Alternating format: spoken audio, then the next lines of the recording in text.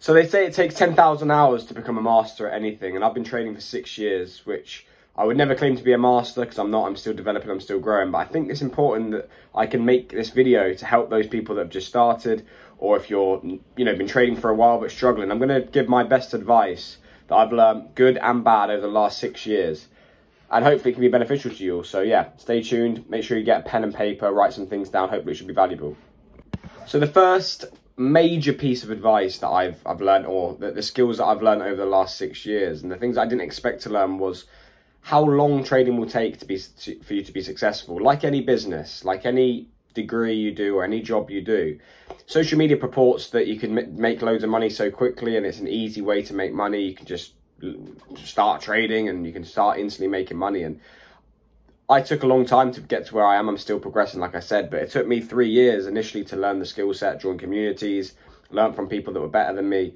And I was hesitant to do that at first because naturally I was fearful that they were going to scam me and that, you know, how can you trust who who's legit or not? So that's why I think this channel is good and I can make these videos to give you real, just real truth about the journey of trading. You see a lot of people promoting Lamborghinis and Ferraris and as much as you can achieve that and there's just 1% that are doing that, for most, for the most part, it's a constant struggle for people. So yeah, number one, you have to be aware that it's going to take longer than you think, and that's not necessarily bad. Like, if you were instantly started making money, it'd be easy, and everyone would be doing it, and no one would be working. So, the fact that it's taking you this long, or maybe maybe you're doing well and you're now looking to scale up capital. All I'm saying is don't rush this process. Just take your time. Make sure that you're you have a set strategy. Make sure you have something that has an edge in the market because otherwise you'll just effectively what you're doing is gambling. You need to make sure that you have tangible rules. You know exactly why your strategy works. You know your strike rate. You know your risk reward. You know how often you win. Um, the likelihood of you winning, and you have all the data to back that up. Because if you have the data and you back tested that to know that it works, it can give you confidence in executing your trade because you know if you take a few losses, it's not the end of the world because you have risk reward on your side. So it's important to have a, a set, clear strategy. I would say join a community. I did. Um, it can be free. We've got a free community down down below, but I would also I'd say join a community as quick as possible because for a long time I put that off. I sat there and I thought, well, I don't want to. I think mine was like eighty pounds a month, and I paid eighty pounds a month. And I think I had live webinars. I could they did trade recap videos. And I was hesitant at first to to do that. I was hesitant because I thought, what happens if they're not legit? What happens if they're scamming me? But I think the moment, uh, obviously, you have to do your due diligence. There's a lot of scammers out there. There's a lot of people that are just after your money. But for me, I took the risk and I ended up paying for education and it massively transformed my trading results. Because rather than me just being sat in my room learning it, learning on YouTube, learning from this guy, although that can be beneficial, sometimes you need professional education or, you know, like, like you wouldn't go to, you wouldn't start a job and want to work your way up without the basic information or the knowledge, or you wouldn't want to learn from people that, that haven't, haven't done it. So, or same with a degree, like you're not instantly going to get the degree, it takes years, but you have to have that education. So I got the education, I paid for the education and it massively helped me. So I think number one, you have to have a set clear strategy. And if you don't have that, you're going to be forever going in this cycle of, you know, winning, losing. You're not going to reach any consistency because you're not consistent with your actions. You're not executing a consistent plan. So you're not going to produce consistent results. Once you've got a clear strategy, now this is what I made a lot of mistakes on don't change your strategy. Don't strategy swap. I see this happen so much. And i i, I did it. Even the last few years i was doing it where you'd have a few losses in, on your strategy which is natural. If you take three uh, people said to me some guy messaged me the other day saying oh i've lost three trades in a row. I don't know what to do. And it's like three trades in a row. If that's part of your plan part of your strategy and they were good trades the trades were part of your plan and they happen to lose that's a sequence of probability that happens there's nothing wrong with that at all it's when you then look to change and look for the next best thing. Oh, I don't want to lose. I see a guy on Instagram that's posted a trade and he's won today, and I think, right, I can I can work out what he's done. I'm going to trade that type of style. That doesn't allow your edge to play out because so if you have every strategy is going to have a losing period, have losing streaks. You're going to have winning streaks, and when you win, you win two, three times what you what you lose. So that's what gives you the winners.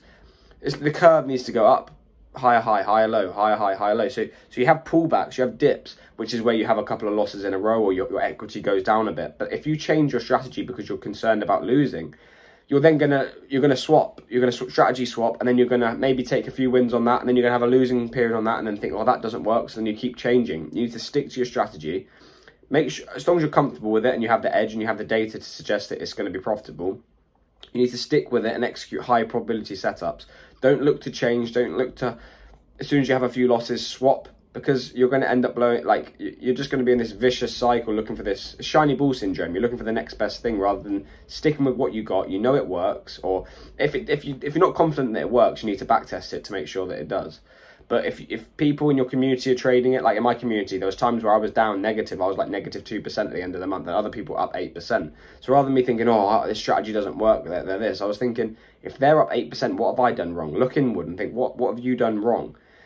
And that's what I did. So don't strategy swap. So number one, you need to have a clear strategy. But number two, don't strategy swap. As soon as you have a few losses or you're having a down period, you need to make that strategy work. You need to become the edge as alongside your strategy. And if you're constantly changing, changing strategy, changing strategy, because you think that's the problem, most likely you're the problem. Yes, there's going to be some strategies that don't work, but you have to identify that by backtesting and getting the data, and that's down to you. But if you know it works and you've got a da- the data, you've got last year we were made 50% from this strategy or 30%, you know the strategy works, you've got to make it work.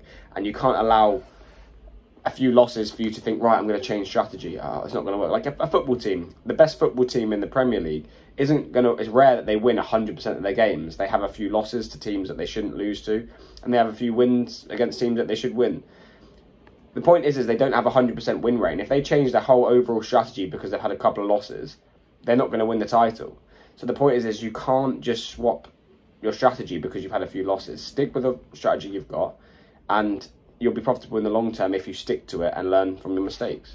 And lastly, one of the biggest things that I neglected, especially when I first started, was the psychological aspect of the game. I assumed when I first started, when I was 18 and I first got into it, which I'm sure a lot of you will feel is, everyone asks, what's your strategy? What's your strategy? Give me the strategy. And as much as strategy is extremely important, as I've just mentioned, you need to have a clear back-tested edge. You need to have the data in your on your favour to suggest that you're going to have an edge long term. You're going to produce profitable returns long term. There's no good having a profitable strategy if you can't understand your psychology. You don't understand the psychological aspects of the game. Everybody's different, and this is what I didn't realise when I first started. My issues were down to me being risk adverse. I was fearful to take trades. I would be more on the fearful side. But there's people on the on the greed side where they enter with high risk they're you know taking low probability setups just to try and get that money back after a couple of losses. But I was on the other end. If I took three or four losses, I was fearful to even take the high probability setups because I was I was more fearful.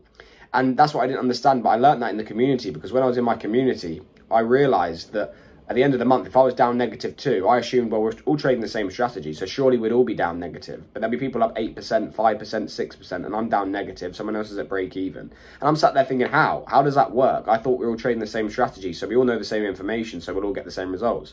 But it's you become the edge alongside your strategy. So there's times where maybe I took a low probability setup because I, I hadn't took a trade for a few days and I was eager to get into the market. Or maybe I saw a high probability trade, perfect setup, go off without me. I didn't execute it because I wasn't at the desk.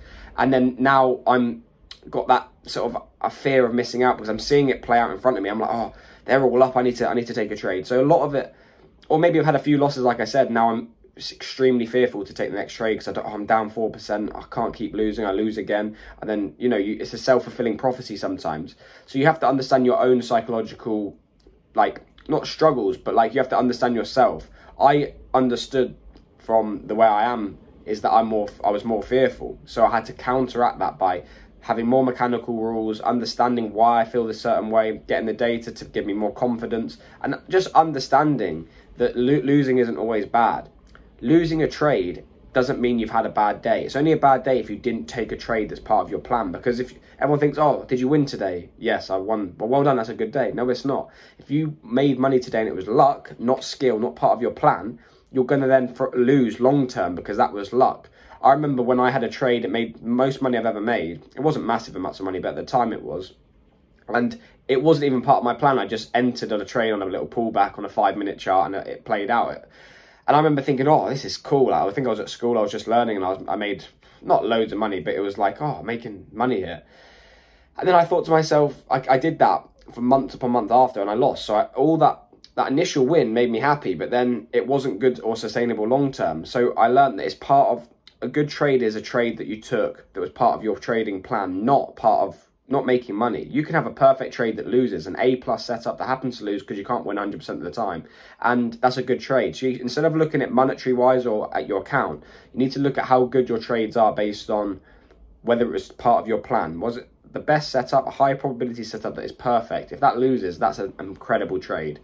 And if you win, but it wasn't part of your plan, that's a bad trade. So you need to identify what a good trade and a bad trade is. Like I say, a good trade isn't always how much money you make, and a bad trade isn't always how much money you lose. A good trade is a trade that's part of your trading plan that you you know works long term, know has an edge long term. So it, it's it's so important to identify that, and then that can help with your psychology because you know all I have to do is focus on the process, not the outcome. I need to execute the trades that I know I should, and regardless of the outcome, because I can't control the outcome, I know if I've got an edge long term, I'll be up. So just keep executing the trades that part of my plan. Yep, has this happened? I'll be at an area value. Yep, has this broke? Like you have your rules, and as soon as you see that, you have to execute. And that's that's what I would say. So I hope you guys got value. A few bits of advice in this video that I've learned over the six years of me trading. A lot of hours spent. Again, I'm still progressing. So I think it's valuable for someone who's just started trading to watch this and hopefully learn something and hopefully hopefully you got value from it. So yeah, if you did, make sure you like, comment and subscribe and I'll see you in the next video. Thanks for watching guys.